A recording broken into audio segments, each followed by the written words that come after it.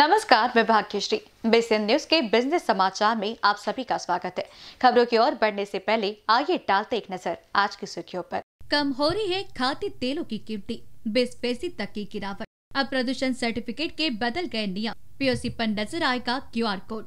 नए आईटी नियमों को लेकर ट्विटर को भारत सरकार के साथ टकराना काफ़ी महँगा पड़ रहा है। भारत सरकार ने सभी सोशल मीडिया साइट्स के लिए नए आईटी नियम बनाए हैं, लेकिन इन नियमों को नहीं मानने पर उतारू ट्विटर को इसका खामियाजा, उसके शेयरों की पतली होती हालत के रूप में चुकाना पड़ रहा है। उसके शेयरों में भारी गिरावट आई है।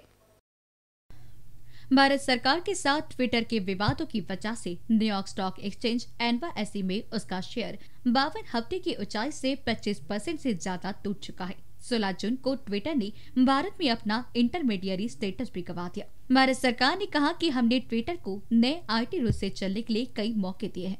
न्यूयॉर्क स्टॉक एक्सचेंज पर बुधवार को ट्विटर का शेयर आधा परसेंट गिरकर उनसठ दशमलव डॉलर पर बंद हुआ। हालाँकि गुरुवार को कंपनी के शेयरों में सुधार दिखा। ट्विटर को भारत में बैन करने नहीं जा रहे। हैं ट्विटर का शेयर 26 फरवरी 2021 को बावन हफ़्ते की ऊंचाई अस्सी दशमलव पचहत्तर डॉलर प्रति शेयर से नीचे फिसल कर उनसठ दशमलव तिरानवे डॉलर तक लुढ़क गया है। यानी पच्चीस दशमलव अठहत्तर प्रतिशत टूट चुका है। 26 फरवरी से लेकर अब तक ट्विटर तेरह दशमलव सत्यासी बिलियन डॉलर की मार्केट कैप गवा चुका है या बाईस दशमलव चौपन प्रतिशत मार्केट कैप साफ़ हो चुकी है। ब्यूरो रिपोर्ट बीसीएन न्यूज़ अगर आप कहीं घूमने जाने के लिए फ़्लाइट टिकट्स बुक कराने का सोच रहे हैं तो ये खबर आपका बहुत फ़ायदा करा सकती है। जी हाँ सरकारी विमान सेवा कंपनी एयर इंडिया की पुनः स्वामित्व वाली इकाई अलायंस एयर ने मानसून बोनांसा सेल की घोषणा की है, जिसके तहत चुनिंदा मार्गों पर किराया नौ सौ निन्यानवे रूपए ऐसी शुरू होगा। एयरलाइन ने एक प्रेस विज्ञप्ति में बताया है कि सेल 19 जून से 21 जून तक रहेगा। इसके तहत 1 अगस्त से 31 अक्टूबर तक की यात्रा के लिए टिकट बुक कराए जा सकेंगे। बेंगलुरु, मैसूर मैसूर, बेंगलुरु, मैसूरू, कोची कोची, मैसूरू, हैदराबाद, बेलगाम बेलगाम, हैदराबाद, दिल्ली, चंडीगढ़ चंडीगढ़, दिल्ली, कोलकाता, भुवनेश्वर और रायपुर, कोलकाता जैसे मार्गों को ऑफ़र में शामिल किया गया है। सेल के तहत किराया नौ सौ निन्यानवे रूपए ऐसी शुरू होगा। इसके अलावा यात्री एक बार यात्रा की तारीख में निशुल्क परिवर्तन करा सकेंगे। अलायंस एयर ने बताया कि इन मार्गों पर वह सत्तर सीटों वाली एटीआर बहत्तर विमानों का परिचालन करेगी।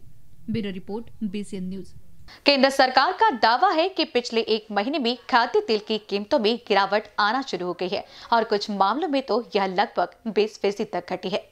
भारत द्वारा घरेलू मांग को पूरा करने के लिए काफ़ी मात्रा में खाद्य तेलों का आयात करने की बात को रखते हुए केंद्र ने कहा कि वह देश को आत्मनिर्भर बनाने के लिए मध्य और दीर्घकालिक उपायों की श्रृंखला पर काम कर है। एक सरकारी बयान में कहा गया है कि भारत में खाद्य तेल के विभिन्न प्रकार के तेलों की कीमतों में गिरावट का रुख दिख रहा है। उपभोक्ता मामलों के विभाग के आंकड़ों के अनुसार पिछले महीने के मुकाबले खाद्य तेलों की कीमतों में कमी आ रही है। Bureau report, BCN news.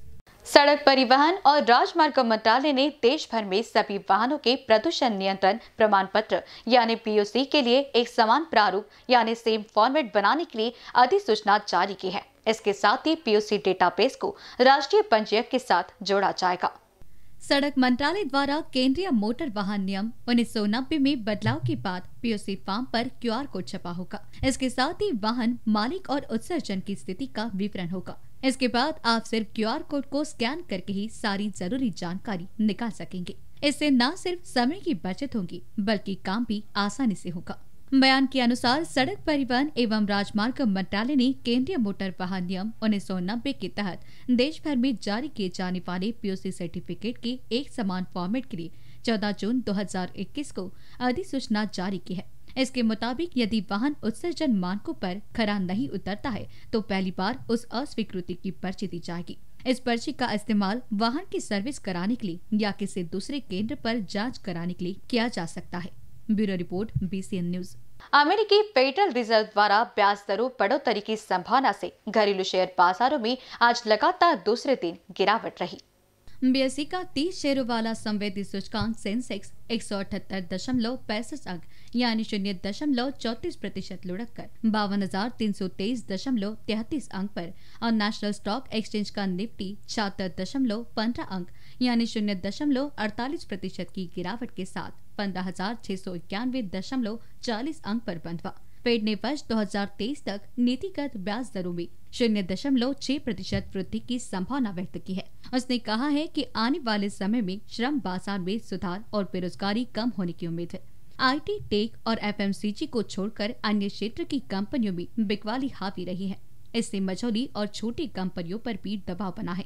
BSE का मिड कैप एक दशमलव उनतीस फ़ीसदी लुढ़क कर बाईस हज़ार तीन सौ छियानवे दशमलव शून्य सात अंक पर बंद हुआ है। छोटी कंपनियों का सूचकांक स्मॉल कैप भी शून्य दशमलव अट्ठावन प्रतिशत टूट कर चौबीस हज़ार आठ सौ अड़सठ दशमलव तिरानवे अंक पर रहा। सेंसेक्स की 30 में से 20 कंपनियों के शेयर लाल निशान में और शेष 10 की हरे निशान में रहे। इंडसन बैंक में सबसे अधिक दो दशमलव इक्यानवे प्रतिशत की गिरावट आई है। डॉक्टर रेड्डीज लैब का शेयर दो दशमलव सत्रह फ़ीसदी एनटीपीसी का दो दशमलव तेरह फ़ीसदी और मारुति सुजुकी का दो दशमलव शून्य दो प्रतिशत लुढ़क गया है। बजाज ऑटो का शेयर एक दशमलव बावन प्रतिशत, एक्सिस बैंक का एक दशमलव इक्यानवे प्रतिशत भारतीय एयरटेल का एक दशमलव चवालीस प्रतिशत एच डी एफ़ सी का एक दशमलव सैतीस प्रतिशत, भारतीय स्टेट बैंक का एक दशमलव पैंतीस प्रतिशत और ओ एन जी सी का एक दशमलव तीस प्रतिशत, नीचे पंथवा। H D F C bank में एक दशमलव तेईस फ़ीसदी, आईसीआईसीआई बैंक में एक दशमलव सोलह फ़ीसदी और आरटीसी में एक दशमलव तेरह फ़ीसदी की गिरावट रही। ब्यूरो रिपोर्ट बीसीएन न्यूज़ खबरें समाप्त करने से पहले आइए डालते एक नज़र आज की सुर्खियों कम हो रही है खाद्य तेलों की कीमती बीस फ़ीसदी तक की गिरावट। अब प्रदूषण सर्टिफिकेट के बदल गए नियम पीओसी पर नज़र आएगा क्यूआर कोड। बिज़नेस समाचार में फ़िलहाल इतना ही। ऐसी अन्य खबरों से जुड़े रहने के लिए देखते रहिए बेसियन न्यूज़ नमस्कार।